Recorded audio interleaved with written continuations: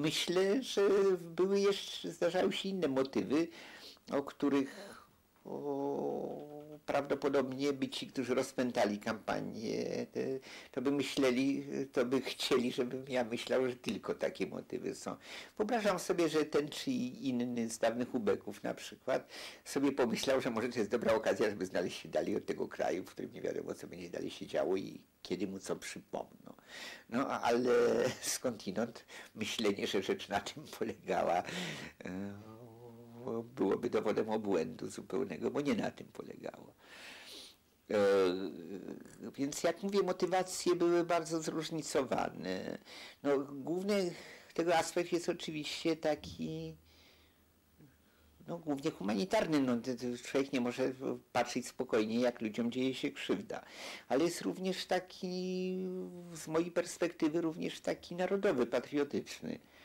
To znaczy, że znowu nam zabazgrano opinię w świecie. I ja niby nie mogę być odpowiedzialny za generała Moczara, ale zawsze jest pytanie, w jaki sposób się jest odpowiedzialny albo nieodpowiedzialny za kogoś, kto no, ostatecznie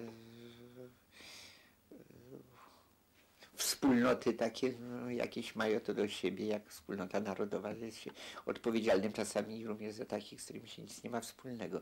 I to bardzo, i to jest głupia sprawa wtedy się robi, kiedy się pomyśli, że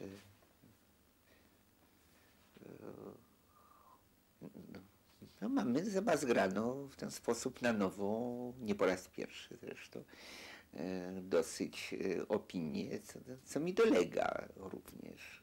Oczywiście to jest aspekt mniej ważny, ale, ale dla mnie bynajmniej nie jest tak też zupełnie nieważny.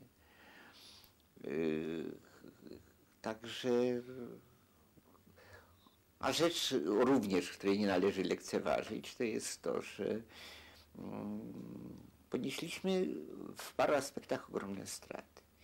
Najważniejsza strata to jest to, że takie rzeczy nigdy nie pozostają bez śladu.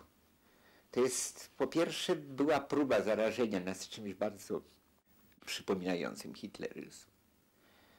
Jak to jest z infekcjami, to nie jest tak, żeby infekcje były zupełnie obojętne dla organizmu. A ta próba była i przede wszystkim kto poniósł tutaj tę szkodę moralną.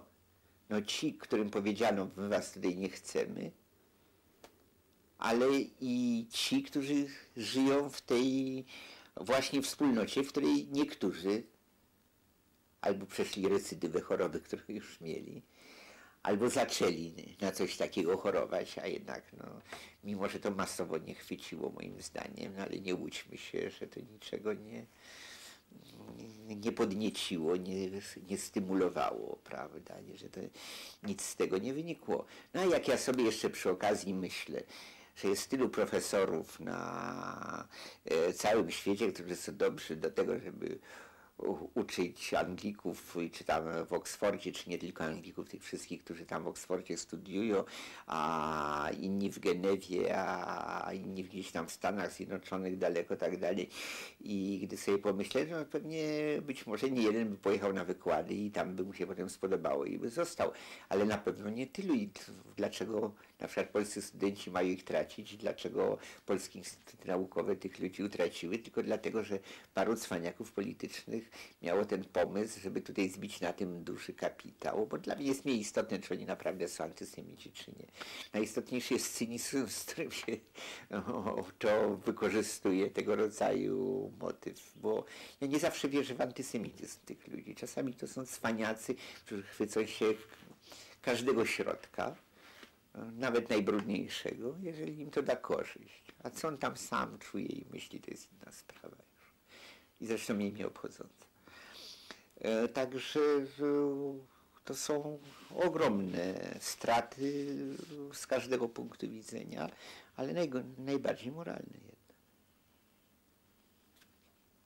Na przy okazji no, emigrowało wielu moich znajomych, przyjaciół. To było to było ponure co parę dni jeździć na to, co tak nazywaliśmy Umschlagplacem, trochę z pewną przesadą, ale to symbolicznie po prostu, przecież tej nazwy się używało, nikt jej dosłownie nie traktował.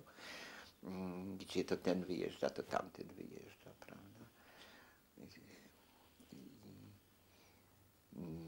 Nie wiadomo na jak długo. No, niektórzy już wiadomo, że wyjechali na zawsze, no jak na przykład Arnold z prawda? Tak zawsze się miało nadzieję, że tam coś się zmieni, za parę lat się zobaczymy. A, a tymczasem no, okazywało się, że nie, niekoniecznie. To tyle.